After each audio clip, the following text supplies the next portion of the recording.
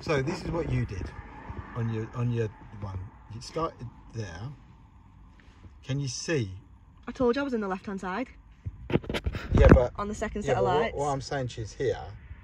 If we go back, Mm, okay. So you started correct. yeah. All right. Yeah, you agree with that? Mhm. So when you approached the roundabout, that was spot on. Yeah. Yeah. Okay. Then you carried on. Mhm. Would you still agree that you're in the correct lane here? Remember, you're Yeah. going right. Yeah.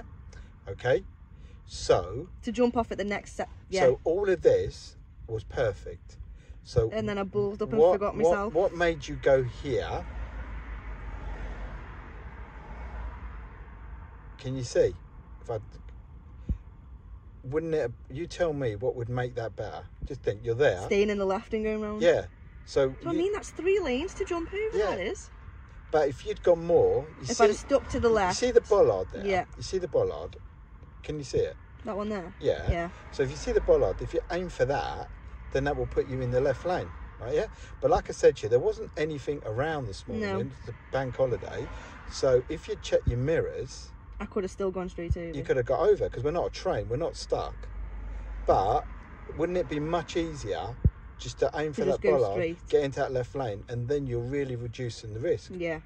Does that make sense?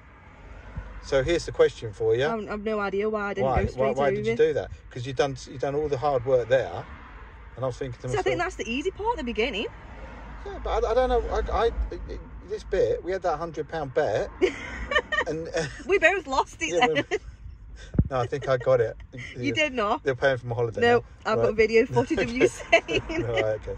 So, but do you see what I mean? Yeah. That's the um. I think it's because I haven't been on it Yeah, for that long. yeah, I forgot there was three lanes at the see, end. see now where we are now, this part here, it, it, on the left side, we're leaving it open for somebody else for to come someone to come yeah. down there. So the risk is higher. When if you go back, all you needed to do was aim for that bollard So just look for the bollard. and yeah, and get into that full, full into the left lane, and that would be perfect. Yeah. Got it? Yeah.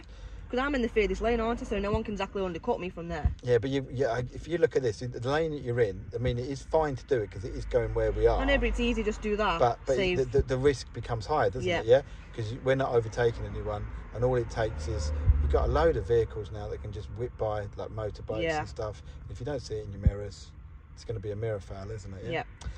Right. So, perfect.